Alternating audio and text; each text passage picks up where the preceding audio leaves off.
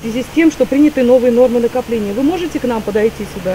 Представители Госадомтехнадзора и администрации Ивантеевки, совершая воскресный рейд, общаются с председателями садовых товариществ и выдают им предписание предоставить договоры на вывоз мусора и проверить, соответствуют ли эти договоры новым нормам накопления отходов.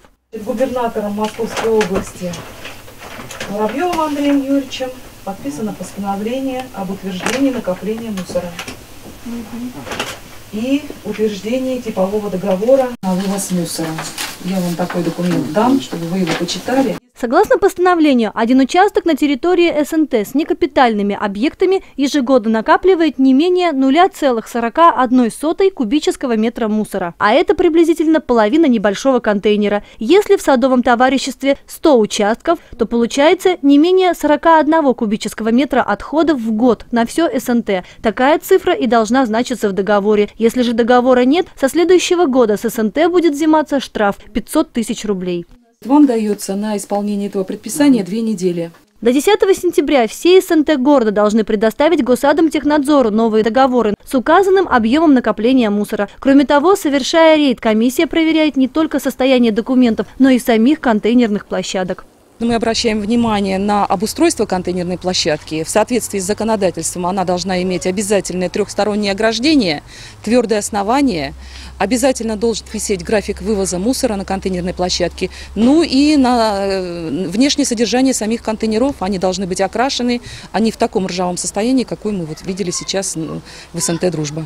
Контейнера у вас в очень плохом состоянии, не окрашены. Ну, значит, я, не я же должна красить, а, наверное, те, те услуги, которые нам Нет, это ваша контейнерная площадка.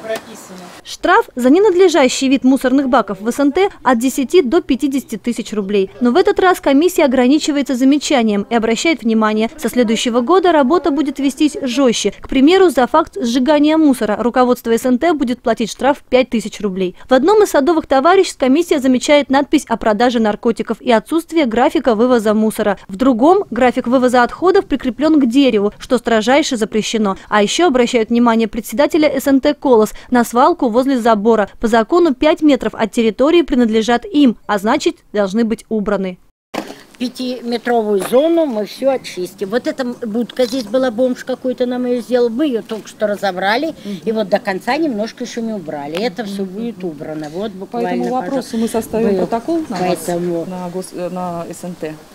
Почему мы все этим это вопросом как раз заняты? Тут целая будка. На момент проверки у вас эта территория находится вот в надлежащем состоянии. Вот. Таким образом, новое постановление, обязывающее все СНТ заключать договоры на вывоз мусора, должно помочь навести порядок во всем городе. Ведь ни для кого не секрет, что часть садовых товариществ вывозит мусора слишком мало, либо не вывозит вообще, и дачники вынуждены оставлять пакеты с отходами на городских контейнерных площадках и даже улицах.